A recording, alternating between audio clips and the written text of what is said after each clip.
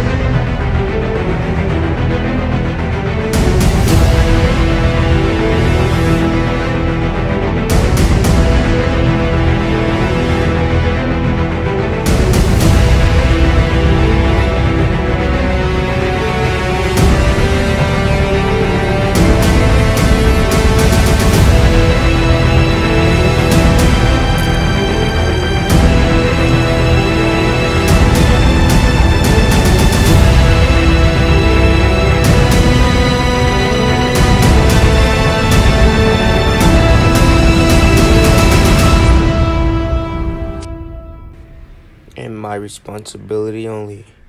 Who am I? I'm Tarantula Man.